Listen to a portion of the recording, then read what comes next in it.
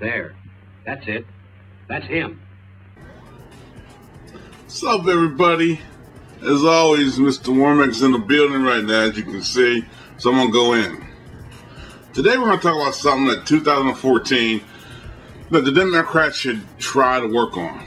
And that is the war on wages. Now, let's, let's talk about that. Like many st- states, and even they, like the national minimum wage, whatever, I guess they're fighting for whatever. Many states, democratically controlled, might add, or trying to raise the wage to say they're giving workers you know, better shot in life for the chasing the American dream, and like, you know, the usual bullshit.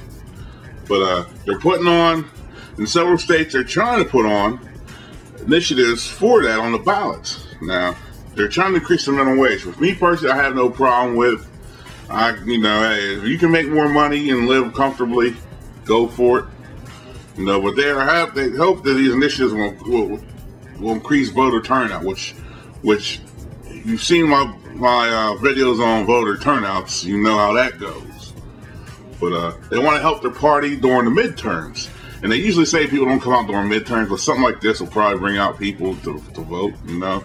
I'm sure if it's, it's your money, you're going to want to care about it, you know. But uh, this is the coming of, uh, on the heels of the of the, of the of the DNC trying to press for the raise of federal minimum wage. You know, Republicans say it will hurt. Uh, it'll hurt like the business owners and it'll like make fewer jobs. I'll be honest with you. A lot of these business owners are still to make a killing. What's it to hurt? What's, it's not going to what, take them an extra thousand dollars off their, you know, their budget or you know surplus. You know, but when Congress gives themselves a raise, that doesn't hurt me. You know what I'm saying?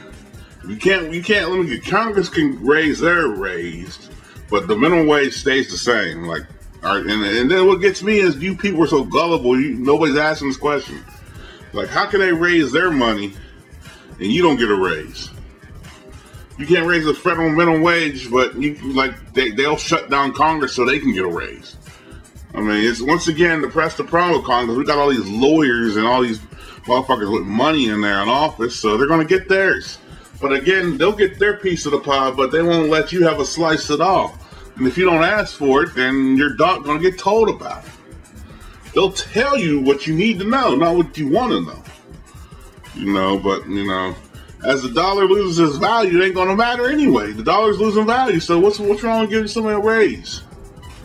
You know, Americans ain't know, ain't like back in the '90s where your dollar dollar meant something.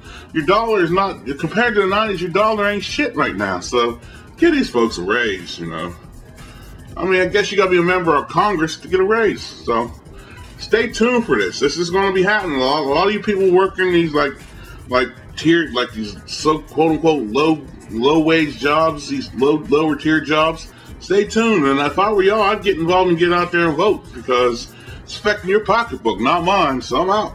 Peace.